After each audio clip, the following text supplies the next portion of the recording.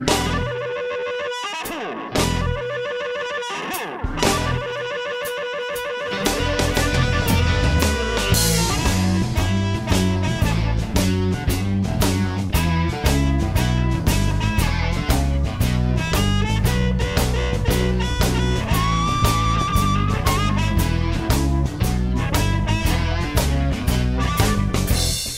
know, I was playing baseball and I was sitting on the bench. Manager looked at me and said, Hey, Mansfield, get in there and pinch hit. So I walked up to the plate and I hit that ball right over the center field wall. Home run! Oh, we're gonna have